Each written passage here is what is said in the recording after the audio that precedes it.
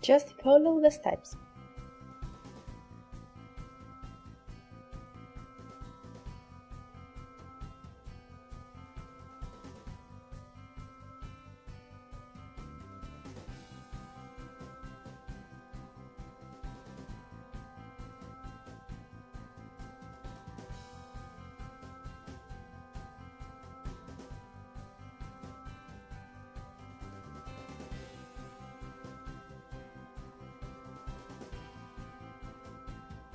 Did you enjoy our video?